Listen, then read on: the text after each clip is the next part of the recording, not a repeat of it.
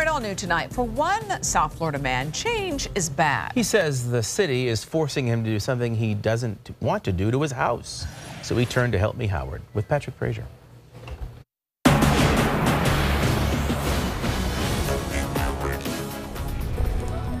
As Tom Corrett walks in this yard, it brings back memories of his childhood.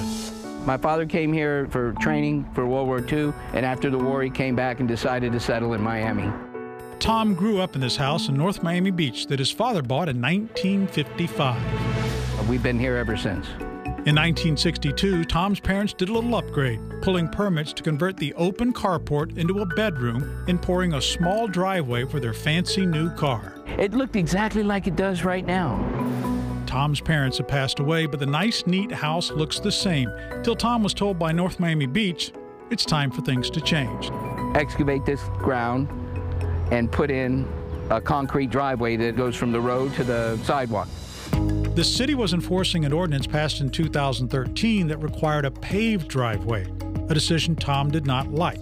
This has always been gravel. This is how it's always been. Since 1955. Since 1955. Tom was also told the city wanted him to remove this concrete area poured by his father in 1962 and replace it with landscaping. And he did this with his own hands and with his, with his friends. That's when Tom said enough, and he let city officials know of his decision. You go back and you tell your boss that I'm not putting that driveway in. So you fought the city? I fought the city. How's that going? Well, it's not going good. The city started fining Tom. It's now up to $3,450. And what's interesting, if you drive down his street, he has 18 neighbors. 13 also have gravel driveways. Tom says, as far as he knows, none of them are being fined like he is. Patrick, I tried so hard to, uh, to uh, go and try to reasonably talk to these people.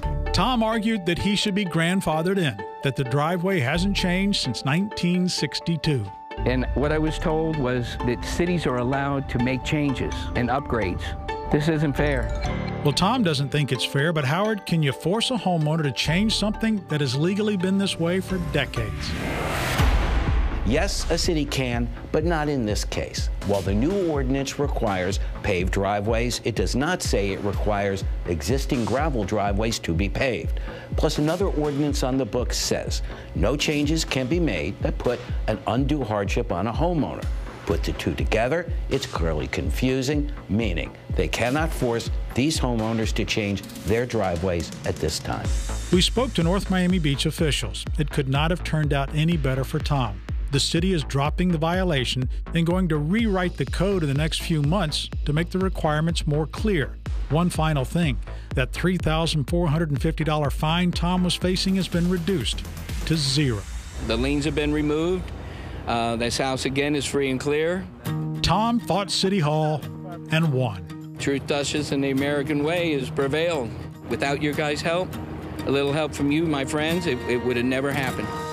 That's the second time I've dealt with North Miami Beach on an issue like this. Give them credit. Both times they were able to make the homeowner happy. And if you're battling a government agency, the key is knowing what's in the local ordinances to see if you're being treated fairly. There's a website called MuniCode that has almost every city and county's ordinances. The link to it is at WSVN.com under this Help Me Howard story. Reading all the relevant ordinances might clear things up for you. Someone parked a problem with you, ready to drive it away? Contact us. We have the gravel in our gut to work it out for you. Isn't the gravel in your gut from an old Johnny Cash song? Well, this helped me out. I'm Patrick Fraser. 7 News.